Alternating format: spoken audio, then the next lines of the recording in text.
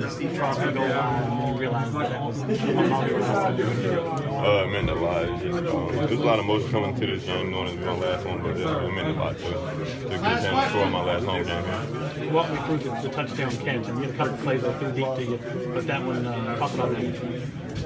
Uh, yeah, corner pretty far back. I just uh, made up his cushion and I ran past him and did what first ball.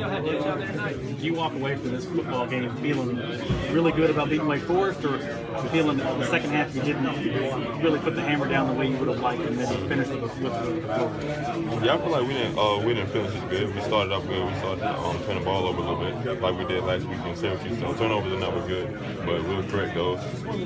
You've waited a long time to kind of become one of the main guys. How good does it feel to get all these downfield shots like you're getting? They're really they're really looking for you to make the big plays right now. Uh, it's really good. Uh, it feels good to be one of the guys that's counted upon to make plays. And, um, I take pride in that, and I enjoy to do my job. What about next week? It's the rivalry game. They got nothing to play for except trying to ruin what you've already got. Yeah, I know. It's just, but when we play each other, records go out the door. It's, it's just, it comes down to who wants it more, honestly. It's out the window. Records go out the window.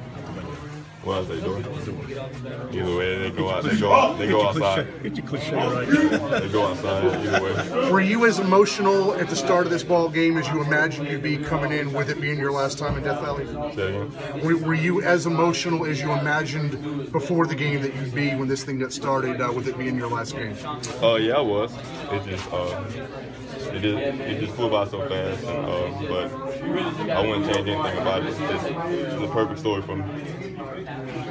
Your senior game, you catch a touchdown pass. And you're a guy that's been through so much in your career to battle back and be one of the main contributors on this team. How gratifying is it for you to come out here on your senior day, get to run down the hill by yourself, and then make a play like that? Oh, it felt good. I never, I never thought I'd be at this moment and being uh, being on one call on the hill for my senior day, and it's just, um, it flew by so fast. Like, just, as a freshman, you don't really think about it like that, but it just felt like it was just yesterday I was getting here. It was just a great moment.